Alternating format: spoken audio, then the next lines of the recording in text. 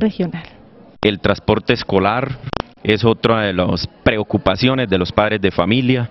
En este momento lo hemos socializado en cada vereda de las personas que gozan de este servicio, se les debe prestar el servicio y también lo socializamos en el sector urbano hoy en la reunión. ¿Qué les informo? El servicio de transporte escolar y mucho más eh, contrataciones que se deben realizar desde la administración municipal, debemos cumplir con todos los requisitos y toda la normatividad en materia de contratación. De esta manera le hemos sido claros a la comunidad y al sector rural, lógicamente, que hasta tanto no tenga, no se tenga, no se cuente mejor con el plan de desarrollo municipal aprobado por el honorable Consejo Municipal, pues tenemos un impedimento en poder eh, contratar el servicio. De esta manera yo les informo a ellos, les manifestamos que estamos haciendo unas consultas jurídicas previas a los entes de control a ver si no hay inconveniente en contratar el servicio de transporte escolar antes de tener aprobado el plan de desarrollo. Espero la comunidad me entienda, aquí las cosas se hacen claras y ajustadas a la ley. La voluntad la tenemos, los pocos recursos, como le manifesté a la comunidad, también los tenemos en el presupuesto, pero lo que debemos mirar es la parte legal de contratación. Espero toda la comunidad entienda que estamos avanzando en ese tema, el sector rural tenga comprensión para poder legalizar el contrato con la empresa que presta el servicio y está totalmente autorizada como es la empresa de Cotrasangil. Entonces estamos avanzando en el tema y esperamos que la comunidad educativa nos entienda y pueda lógicamente contar podamos contar y resolver con la prestación de este servicio lo más rápido posible para beneficio de todos los jóvenes que vienen a las instalaciones de la Quileo Parra. Inicialmente hablé a la comunidad sobre al ejecutar un plan o hacer un plan, donde debemos tener en cuenta dónde estamos y a dónde queremos llegar para así eh, conseguir los recursos eh, para cumplir con ese objetivo. Un primer eh, propuesta que tengo sobre la parte turística es que se recuperen los caminos como el Camino Real, el, Salto del Mico y en la parte de señalización, hombre, que haya mayor información en las vías, mm, comenzando desde San Gil, que se puedan instalar avisos, hombre, cómo se llega a Barichara. En la parte de educación, tengo la propuesta de que se recupere los talleres para una mejor formación tecnológica de los estudiantes y una renovación eh, educativa en el colegio. En la parte de seguridad mm, es necesario que la policía realmente se preocupe un poco más y responda a las inquietudes de la comunidad.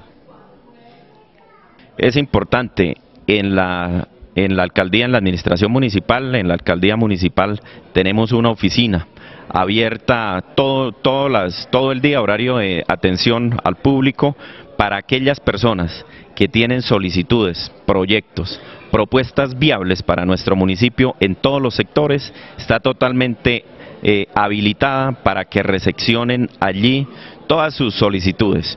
Es en el segundo piso del Palacio Municipal, allí está el equipo asesor, los honorables concejales también están dispuestos a escuchar la comunidad, los presidentes de Junta de Acción Comunal y la oficina dispuesta en recepcionar cada una de las solicitudes que tenga la comunidad a bien para formularla en este plan de desarrollo 2012-2015 denominado por una barichara competitiva, social e incluyente. Allá eh, recibimos las propuestas directamente, si eh, estamos atentos, el alcalde también recepciona, recibe toda la información y queremos, reitero, el mejor plan de desarrollo, pero para esto necesitamos que la gente participe nos colabore en la formulación para poder darle complemento total, definitivo a este periodo de gobierno 2012-2015. En esta ocasión he tenido la oportunidad de decirle a los asistentes, eh, al alcalde a la cabeza y a sus cooperadores que debemos trabajar eh, mancomunados, unidos por el desarrollo turístico y cultural de nuestro municipio. Necesitamos formular el PEN. Tenemos centro histórico, pero no tenemos PEN, Plan Especial de Manejo y Protección. En el municipio de San Gil ya se está aplicando, el Ministerio de Cultura lo está trabajando. Necesitamos traer eso aquí a Barichara poder eh, articular muchas otras actividades de cultura y turismo, vigías de patrimonio, recuperación de caminos ancestrales.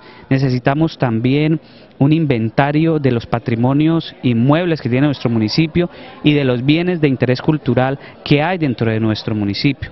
Las ventajas que trae el PEN a los municipios son grandes. El ministerio tiene gran potestad para hacerlo. Necesitamos que la administración ponga un poco de su parte y todos los que estamos acá hoy también. En la mesa en la que estamos trabajando ahora mismo en cultura estamos viendo la problemática, pero también posibles soluciones a cada una de esas problemáticas que se plantean. Esperamos que la comunidad que no pueda asistir en el transcurso de los cuatro años y en adelante siga siendo parte de este gran eh, plan de desarrollo del municipio de Barichara, que no es solo cuatro años, sino es para toda la vida. El turismo y la cultura de Barichara merecen rescatarse. Hay cosas que hacen falta hay cosas que no debieran estar y para eso estamos aquí hoy. Entonces, a través también de la Corporación Dígame Santander, estamos aquí presentes dando el aporte necesario para ese tema tan importante. Muchísimas gracias. En cuanto al Plan Especial de Manejo y Protección, hay un centro histórico ya declarado, pero si no funciona el Plan Especial de Manejo y Protección PEN, que lo regula el Ministerio de Cultura, pues fácilmente pueden haber demoliciones de casas antiguas en nuestro centro histórico de Barichara y pueden construirse eh, edificios de cemento. No queremos eso para nuestro municipio, queremos un desarrollo, pero la palabra desarrollo no viene de tumbar todo y hacer cosas diferentes y que pues ejerzan otra función en nuestro municipio. Es algo completamente diferente, devolverle a Barichara lo que se merece, las cosas ancestrales, las cosas antiguas, que es lo que reclama el departamento, que es lo que reclama nuestro municipio. El turista viene a Barichara a ver eso, las casonas viejas, a, los, a, nuestros viejos contando sus cuentos en el parque, a, a, ver arquitectura y patrimonio. Y si mostramos una cosa que no es, pues lógicamente vamos a tener contrariedades. En San Gil y en el Socorro también se está aplicando el plan especial de manejo y protección. Necesitamos que en Barichara también se haga. Lógico, con urgencia se está aplicando más en San Gil porque podemos observar el centro histórico y en las encuestas a las que yo pude hacer parte con el Ministerio de Cultura, mirábamos que el centro histórico está completamente destruido. La casona, antiguo colegio Guanentá, la habían querido convertir en un parqueadero de cemento gracias a las intervenciones de vigías de patrimonio de la Corporación Dígame Santander y de entidades públicas y de personas naturales, se ha podido parar eso y hoy ha sido declarada bien de interés cultural, patrimonio. Entonces, así sucede con Barichara. Hay muchas partes hermosas de nuestro municipio que deben estar en la lista de patrimonio para que sean rescatadas y nunca demolidas. No tenía PEN porque es que el, el PEN no es para reglamentar, el PEN es para asignar recursos. Lo que él se está montando es para llegar y decirle Barichara tiene tantas, tantas calles empedradas, tantas casas, tiene el problema de Bellavista se podría solucionar con el PEN, porque usted le puede asignar recursos a todo Bellavista para llegar y decirle el, Estado va a subsidiar el que ustedes cambien todas esas fachadas que hicieron ahí por unas fachadas que sean coloniales. Eso es lo que va a hacer el PEN. Eh, yo eh, vivo en Barichara, en Santa Bárbara, y estoy interesada en eh, uno, el tema principal que, que, me, que me interesa es el medio, la protección del medio ambiente. Entonces, la propuesta que yo traje a estas mesas de trabajo es el, la de fortalecer y proteger y completar un cinturón verde alrededor de Barichara, que sería el componente ecológico natural de Barichara, patrimonio nacional.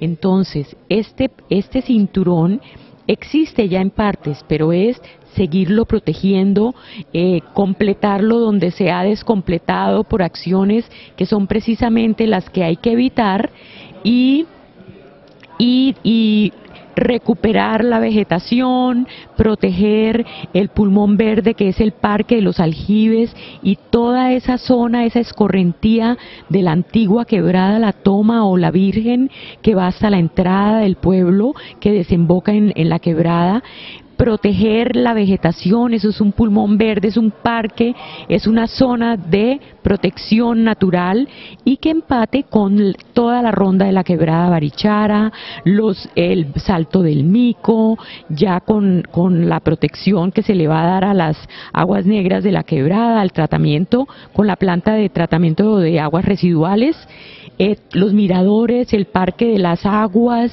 el Bioparque de la Asociación Aquileo Parra, que es un esfuerzo muy grande de recuperación de vegetación nativa, que además tiene el componente de educación ambiental para los muchachos del colegio de Barichara, para de todos los muchachos de Barichara, para que para ayudarles a comprender eh, la importancia de este tema, de la recuperación del bosque natural y de la preservación del medio ambiente, de, no, de, las, de, ayudar a no botar basuras, vamos a implementar un programa para recolectar las basuras en, en frascos, en frascos de botellas de Coca-Cola o de bueno de gaseosas para eventualmente poder eh, construir algo que se está haciendo en el mundo. Y esta es la propuesta que se trae. La propuesta que se trae es precisamente la protección del medio ambiente, la protección de los parques naturales como el de los caracolíes, que ya existe también, y esta es la intención de, de, mía y del grupo que represento, que hemos conformado una veeduría del medio ambiente.